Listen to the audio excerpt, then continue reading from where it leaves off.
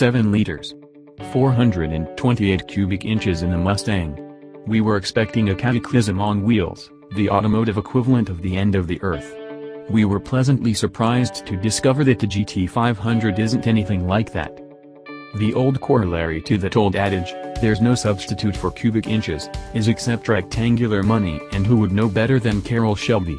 When the Cobra 289 peaked out on the racetrack, there were several ways of making it go faster most expensive, one cheap.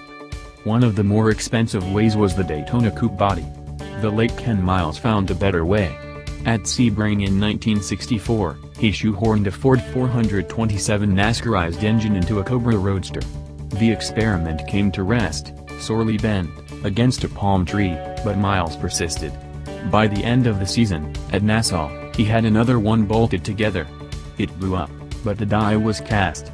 Early in 1965, Shelby announced the Cobra II with the 427 cubic inches V8 replacing the 289.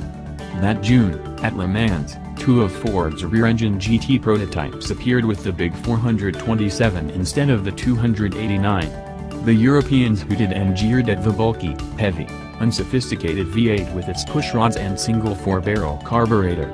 A year later, Ford 427 swept the first three places at the French Classic, with Shelby's two entries dead heating the final lap. What the 427s had beaten was a team of 270 cubic inches Ferrari V12s with multiple carburation and four overhead camshafts.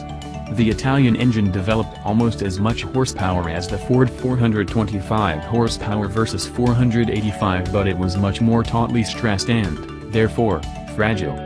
Which is the whole point of 7-liter Fords, Cobras, and now, Shelby Mustangs. 467, Ford offered the Mustang with their tried-and-true 390 V8, which has a bore and stroke of 4.05 by 3.78 inches. Ford also builds a 428 V8 on the same block with a bore and stroke of 4.13 by 3.98 inches.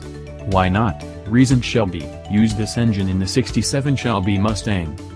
Why not indeed? The car is called the GT500 and its engine is called the Cobra Le Mans.